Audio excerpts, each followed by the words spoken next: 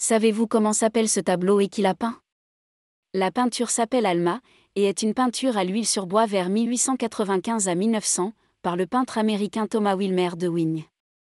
Il fait partie de la collection du Smithsonian American Art Museum.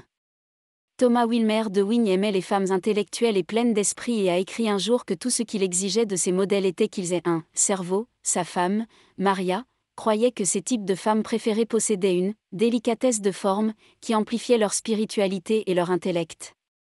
Alma Allen était l'un de ces modèles, et dans ce portrait, De Wing a souligné ses traits en se concentrant sur son long cou et son expression pensive, plutôt que sur les courbes de son corps ou la texture de sa robe.